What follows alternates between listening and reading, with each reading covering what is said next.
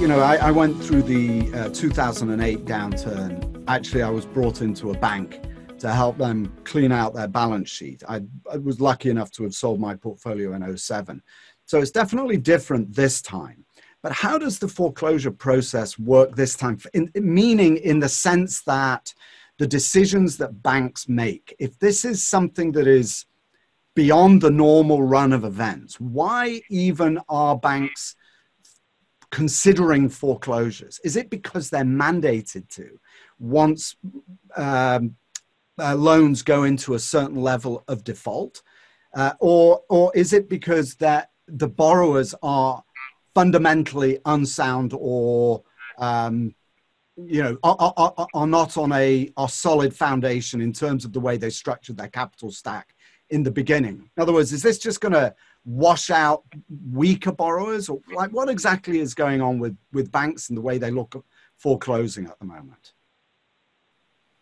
well, A, it's too early to sort of make broad generalizations. Every financial services institution is making their own decisions as it relates to allowing for forbearance um, or foreclosing on a loan that's in default. Um, I would put forth, I've heard all sorts of distinct reactions as it relates to people asking for forbearance uh, from the next three months are on us just put your head down be ready to go when this thing clears up and we're with you to uh, you know no, we're not going to give any leniency, no forbearance. If you want to default on your loan, you default on your loan. So it runs the full gamut. I would say that you have to keep in mind that this crisis is very distinct from the great financial crisis. In the great financial crisis, the banks were running scared from the very outset. It was a banking crisis, it was a liquidity crisis. Mm-hmm. We are not seeing any of that today. So the banks are exceedingly well capitalized. Um, they have plenty of liquidity the Fed has flooded the market with liquidity. Um, the SBA loan program that started uh, a week ago Friday is already it, it's they say it's going to be depleted by this coming Friday. Um, that's 350 billion dollars that the federal government has put into small businesses across the country to allow them to keep their payroll payrolls going. And 75% of those loans can be used for payroll. And that 75% is all forgiven if you use it for human resource costs during this downturn.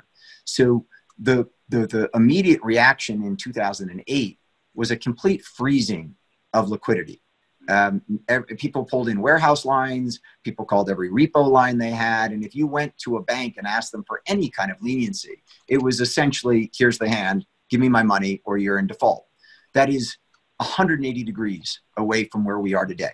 Maybe I should say it's 170 degrees because there are some people who are saying, I need your money. I'm calling your line. I'm calling your loan. Don't talk to me. But it's a very different approach today. I think the big question is this week is when people are starting to really think about okay, we were in kind of free fall for three weeks. The virus was hitting, it was growing dramatically. We were all scared for our lives, we were scared for our loved ones and it was a real crisis of companies adapting to the new norm of either shutting down or like Walker and Dunlop sending everyone home and saying we got to keep working but we can do it in a remote basis. Then all of a sudden last week when you started seeing that we seemed to be flattening the curve and getting to peak demand for medical services in New York City, everyone said, "Huh, well maybe this isn't going to go as deep as we thought. Maybe we're all not going to die." And um, let's start to think about the potential upside. And so you had this great kind of euphoria of the storm isn't going to be quite as bad as everyone expected, and we actually can start to think that it's going to pass. And so the market's inflated up again. Now the question is sort of what do we do next? How long does it take for us to get out of this? How long is it going to take for the economy to get back up and get going?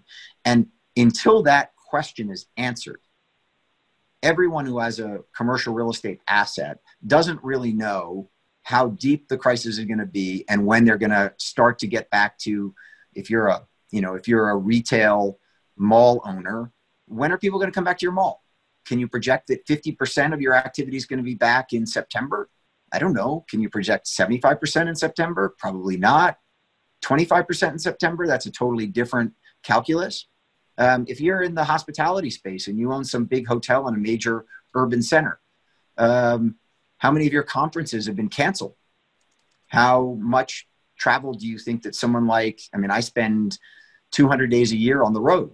When do you think Willy Walker is going to start traveling again? I don't know. Can't I can almost guarantee you I'm not going to be getting on an airplane in May. Maybe maybe something will require me to get on a plane in May. But even if they call all you know all clear, why am I going to get on a plane? And if I do get on a plane, I'm probably going to fly out, do something, and come right back home. Well, why am I going to go stay at a hotel for the night, right?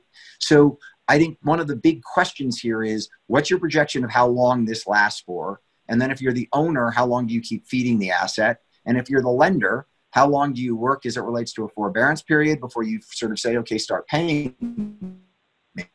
How much pain do you then pass on the owner? And when does finally capitulate and say, I'm out?